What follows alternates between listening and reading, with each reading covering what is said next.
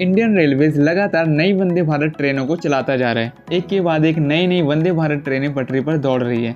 अब जल्द ही एक, दो नहीं, बल्कि पाँच नई वंदे भारत ट्रेनों का तोहफा मिलने जा रहा है। इंडियन रेलवे पाँच नई वंदे भारत ट्रेनें लॉन्च करने जा रहे हैं। दरअसल रेलवे 26 जून से पाँच और नए रूट पर वंदे भारत ट्रेन का ऑपरेशन शुरू करेगा। उड़ीसा में दो जून को तीन ट्रेनों के क्रैश होने के बाद ये पहली शुरुआत है।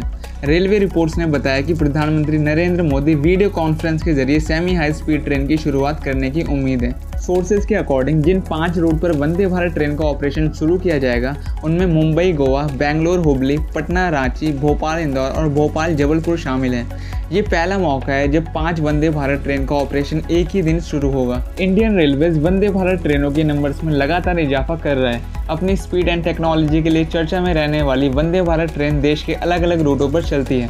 हाल ही में वंदे भारत ट्रेन को लेकर एक नई इन्फॉर्मेशन सामने आई। माना जा रहा है कि नई वंदे भारत ट्रेनों की top speed 180 kilometre per hour हो सकती है और इनकी average speed 83 kilometre per hour की रहेगी।